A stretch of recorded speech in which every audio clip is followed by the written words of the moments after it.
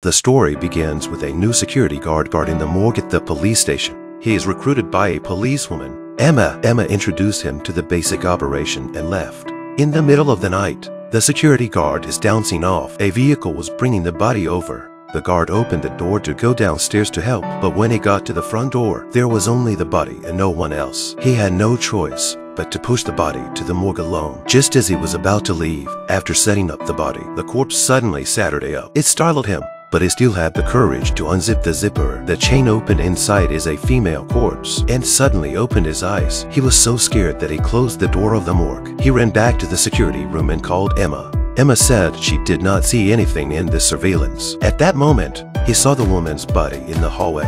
Her ear-splitting laughter echoed around her. The security guard faltered and opened the curtains. The female corpse suddenly appeared in front of the window. Scared, the security guard pulled out a gun.